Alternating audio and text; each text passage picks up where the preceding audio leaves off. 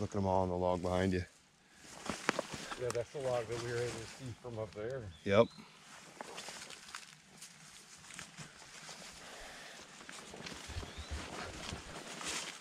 It's a crazy infestation. Look at all these little pins. These guys are all gonna be a lot bigger in a few days. And now look at this beautiful little pin structure here. Just beautiful. These are prime eating guys right here. Could use another day of growing, but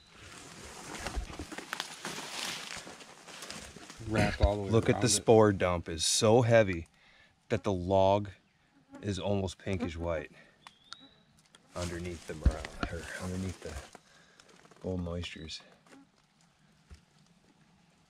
That's insane. Look at that golden oyster log. Unbelievable.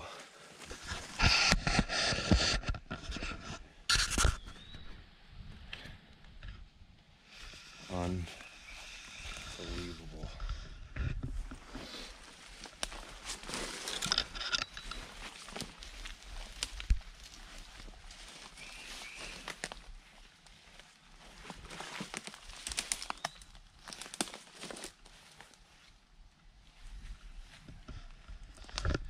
Just amazing flush.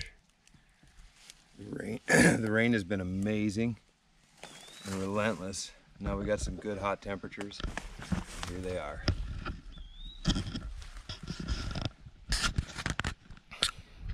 All right, I'm gonna have my partner here hold the stick and show you a few, a few uh, key points on these oyster mushrooms for identification.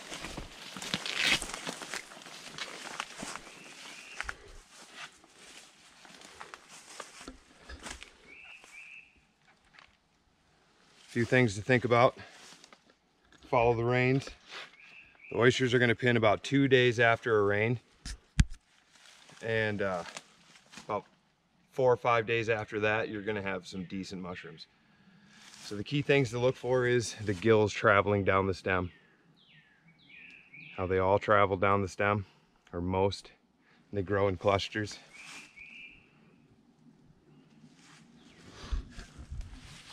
So follow the rains, guys. They're everywhere right now. Hope to find some more for you guys.